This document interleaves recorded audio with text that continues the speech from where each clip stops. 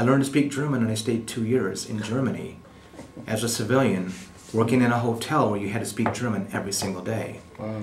And that again was adding to the best time of my life from Africa because now I was a civilian, not in the military, working in Germany, living as a civilian, meeting people from all over the world, and just enjoying it. Hmm. And after two years, I decided it's time to go back home because the plane ticket was good for one year. Mm-hmm. So when I was in Germany working, after six months, I asked for a two week leave, mm-hmm. vacation. They gave it to me.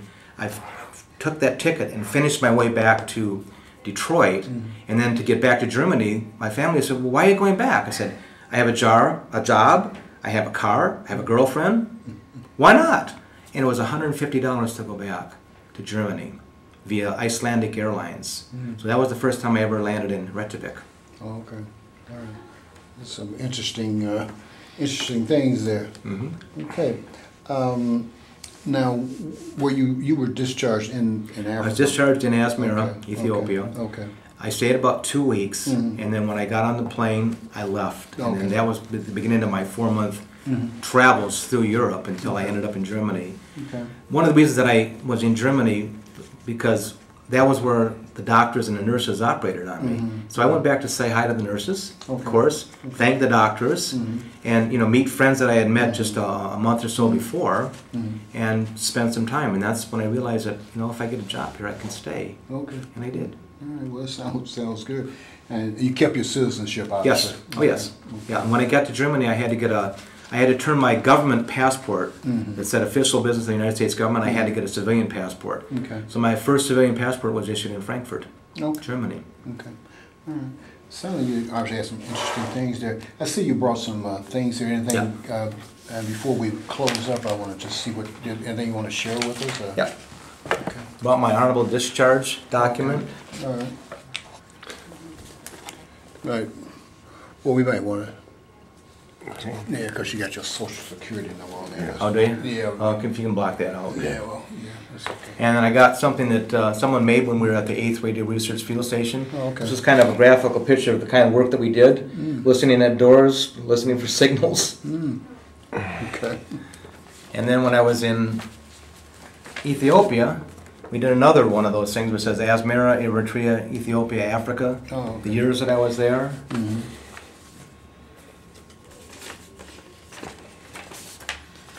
The letter that I got that gave me permission to remain in Ethiopia following separation. Okay. Nothing personal. No, I don't think so. Okay.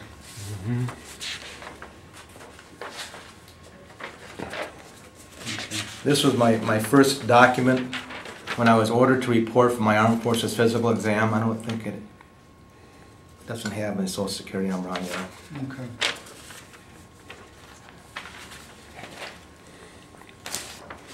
Who issued the letter that allowed you to stay there? That, was that official from the US Army or? U.S. consulate. Oh, okay. Yeah. Okay. And then my Department of Army headquarters orders from um, um, Vietnam giving me my, my uh, leave in the States. Okay. All right. Okay.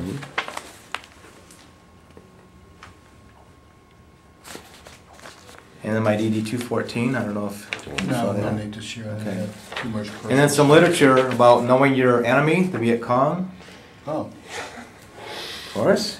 I'm sure you read that, right? Oh, I read that. Very, very good. Yeah. And then the rest of the stuff are just pictures from Africa, Mhm. some pictures from Vietnam.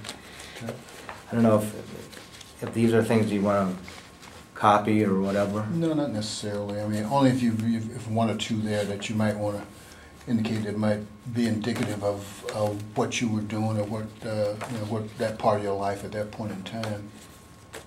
Um, and we just probably put a little bit on the camera, but they, they, they prefer not to have copies of pictures. My first sports car, English Austin Healey Sprite, Okay. right-hand drive.